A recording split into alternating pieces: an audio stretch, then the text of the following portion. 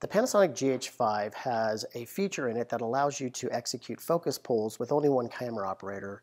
We call this focus transition. Let's show you how it works and where it's in the menu. So go to the camera's menu. We need to be in the top tab, which means the mode dial needs to be in the creative movie mode. Page 2 has focus transition.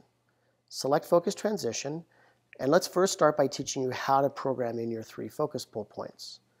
We'll select focus, we'll select focus pull settings. Position number one, we hit set.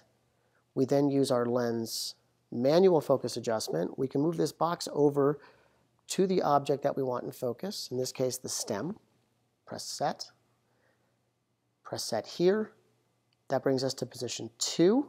We're going to make this apple here position 2. We're going to slide this box over, which helps for magnifying the image. We're looking for our little blue focus peaking, which is right on the apple there. We press set, press set here.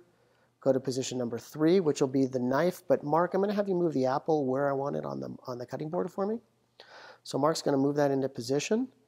And then we're going to adjust our focus, move the box over so we can get our focus programmed exactly the way we want.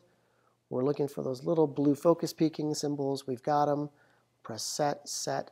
Now we have our three positions programmed. So once we have them programmed, we have some options. One is how fast we want the transition. Do we want a super fast transition, which is super high? Do you want a super low transition? In this case, we're just going to be high, kind of upper middle of speed.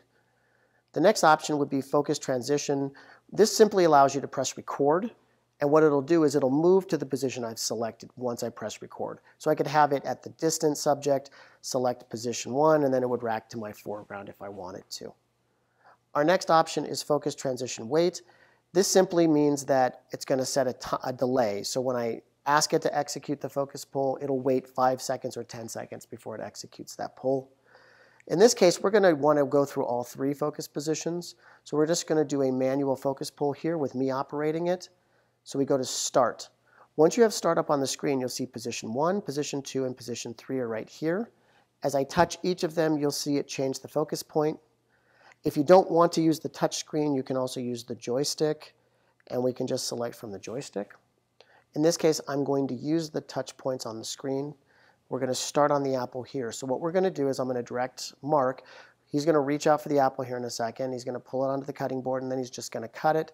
I'll execute a focus pull between those two points.